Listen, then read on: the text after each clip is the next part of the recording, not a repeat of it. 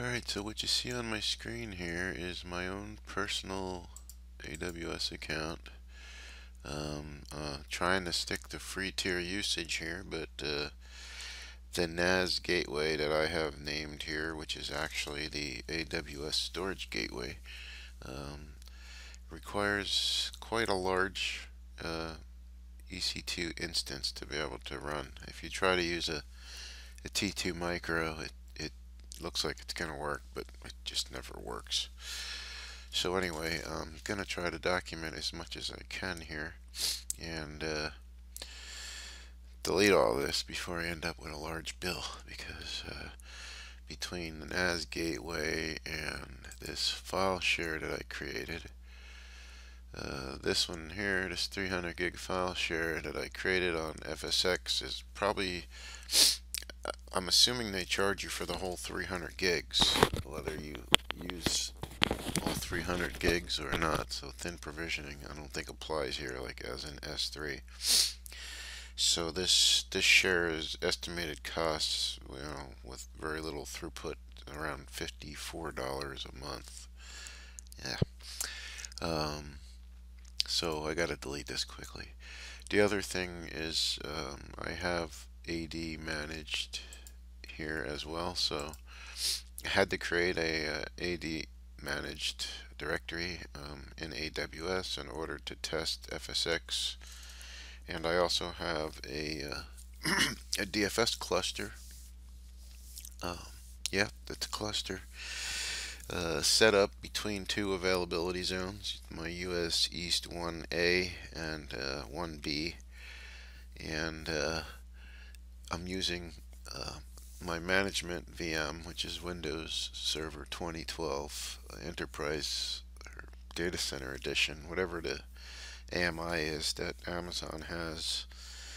Um, but I, I, am using it as an iSCSI target because I haven't found another way to, you know, create a cluster without shared storage. And, you know, EC2, you can't attach the same disk to the same in, to multiple instances. It can only be attached to one instance. So I haven't found a way around that yet, but uh, but it's pretty cool. It's, it, actually works. Um, I'm gonna jump around a little bit. This is this is my management uh, VM, and right here is one of the cluster nodes that I created for the DFS cluster. You could see this cluster has uh, two nodes. They're both up. And I have created one uh, DFS root on this cluster. You can have multiple roots like we do in our production environment uh, in ED1 and WD1. And for the purpose of this test, I'm just uh, going to show options for, you know, moving or forklifting, if I will, uh, NetApp or Windows file shares to Amazon seamlessly by maintaining the same name and relative path and all of that good stuff that users complain about when you migrate data for them. Um, what's interesting here is uh, my DFS namespace is a combination of uh, the, the, the referrals here, the one referral that you see right now, this group C referral is using the storage gateway. So it's actually, you know, the gateway appliance, um, which is backed by an S3 bucket, but it's set up in my DFS namespace as a referral. So when you go browse that namespace, you uh, can see under groups here. The group C if you look at this properties on this in the DFS you can actually see that's the referral. And that is actually in my bucket here. It's an S3 bucket. I can show that by I, I have nothing in this directory right now but if I go over to my S3 bucket right now and I look in this this folder that I created, Tuz test, it's empty. and if I go back here and create a I don't know text document and um, won't be able to see that through the S3 browser but uh, not the browser but the console. So you can see I created this file here and if I go back to my bucket uh, and refresh there it is. It shows up. It's pretty cool. Uh, so I mean if you don't need high performance and you're looking for something cheap but you want to be able to front end it with a familiar user link this is an option, you know, to combine DFS with Storage Gateway. Not exactly uh, the primary use case for the Storage Gateway, but I figured it was worth showing. Now for the FSX, uh, what I did here was I created a 300 gig volume, like I said before, and this is costing me uh, to the tone of $54 a month right now without backups. Um, you could see here you know, information about it, uh, the network information, the Active Directory that it's associated with, which is my directory service. It's this is the same. If you look at this, this is the same directory service. Uh, where is it? There, right there, the 40D0F. The 40D0F, that's my directory. This is the DNS name that they associated with this uh, file share um, and it created a uh, an ENI here an elastic network interface and gave it an IP address and registered it to that uh, domain and just like a, a file share only you know you don't have any control over what you call it it's basically limited uh, so putting DFS in front of it gives you some flexibility with that. If you look at uh, the actual share on my management server, I think I have it right here somewhere. Yeah, so this is the actual share. Um, or if you browse the network or the DNS name, you could see share. I did not create that share. When I created that volume or that share, it created that default name. I don't know that you can change this. So what I did was I went into that share and I created some directories for accounting, HR, marketing, research, and so forth. And then in my DFS, I have one of these set up as a referral. So let me just show you that. Uh, let's see. Yeah, this one here. So this referral here you could see is pointing to that FSX share that I created. And it's creating to it's pointing to a subdirectory. So I can carve this up and have it shared by multiple departments and front end it with DFS that's pretty cool. Um, just to go back to my DFS solution real quick I mean you could see that uh, I'm trying to follow, you know, all of the high availability best practices. I have the node 1 in uh, US East 1A, node 2 is in US East 1B. It, it's a stretch cluster, but DFS on a stretch cluster requires shared storage. And like I said before, you can't do that with EC2 and uh, EBS, but you can do it with iSCSI. So for now, I just, on my management server, I have the iSCSI target uh, service or feature running. You could see it right here. This is the virtual disk that I created. Um, and I've exported it to um, both of these initiators uh, that are running on my uh, DFS nodes. Um, and then you know, I was able to use that as a clustered one. So yeah, the iSCSI server is a single point of failure right now, but I'm still thinking of ways to get around that. But anyway, um, let's see, what else can I show here? Uh, I'll show how easy it is to create another referral. Um, just going back to this example here. Um, wait, uh, getting lost.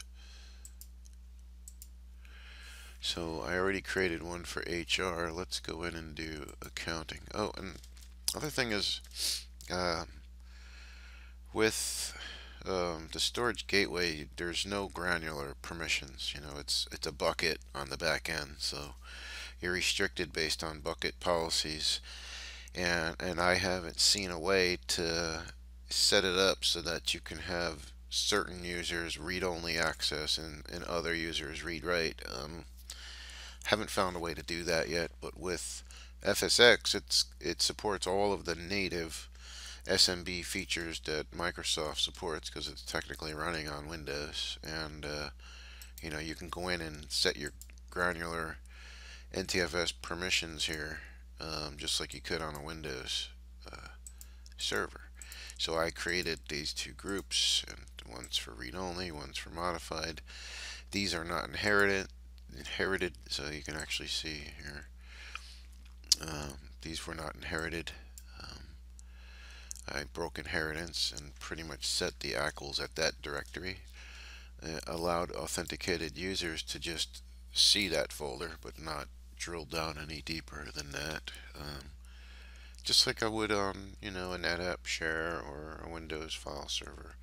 It's pretty cool um, that you can do that. Uh, but like I said, with the S3 bucket, uh, if you look at this bucket here, uh, and let's look at the permissions on this guy here. This will be interesting. You see, even if I created a, uh, even if I created a group and granted that group access, and it wouldn't it wouldn't list the group here. It's only going to list each individual user. So if another user were to, were to write to this, right now it's wide open. Everyone has read-write access to this because I didn't restrict it with group membership yet. But you know, you can end up with hundreds of users in the group in the in the ACLs, and it's really just emulating which users have access to the bucket. So this, you know, I'm not crazy. I, I think they have some work to do here, unless I'm doing something wrong. But it does, you know, it does work, and it's pretty fast. So. Um, Anyway, for marketing, uh, I could show how I created the groups. Let's see, I have trying to get used to this. This is uh, Active Directory Administrative Center. So that directory service that I created, you can't really manage it from here. You can just do certain things, but there's not much you could do from here. So you can see my directory and under actions, I can't really it can't really do much, right? And this is just showing me some details about it, but it can't manage it from here, you know.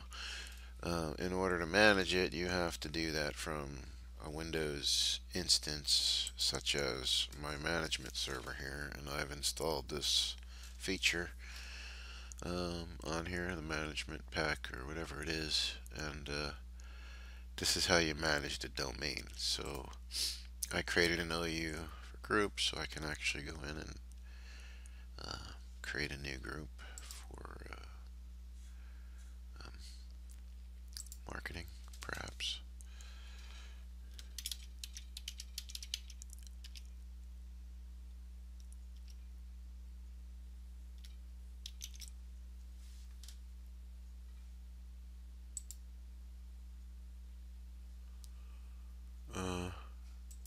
Forgot users. Let me modify that. Yeah, this is, I don't know. I don't know if I can get used to this, but, you know, I guess I will eventually, if I had to. Yeah. And another group.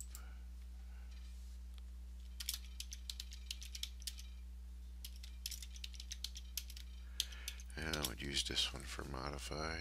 So basically create those two groups and then I would go into here and this is where I would you know right now I don't think I changed anything with the permissions so this is default I had to pretty much add myself to this group that was created when the share was created uh, in order to have full control. Otherwise I'm just a, a user which has basically modify. Um, but I added if you look here the AWS delegated groups um, here. I added uh, my admin account to that group. It wasn't there by default. So now I can go in pretty much disable inheritance but convert that I don't want to lose the, that stuff. And apply that and then I can add the groups that I just created for marketing here they are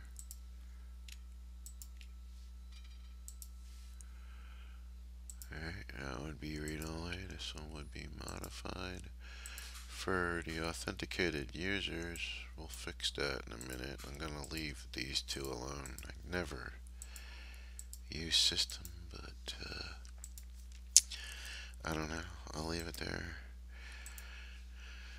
Uh, where was I? I gotta fix the authenticated users here. I don't want all authenticated users to have modify right? We have to fix this and take away modify and just do read execute but this folder only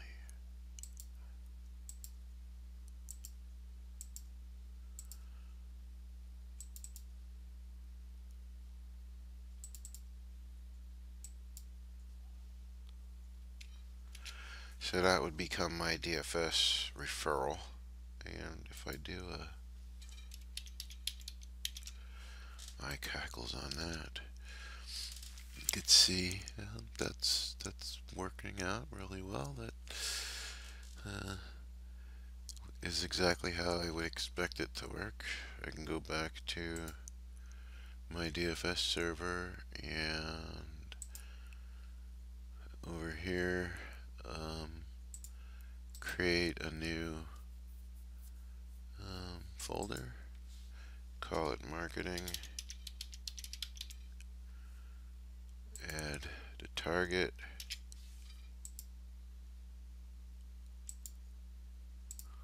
and then if I go back here,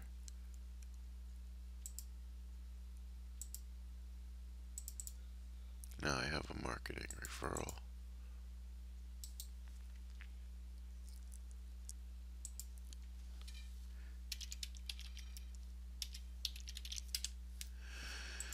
And uh, should have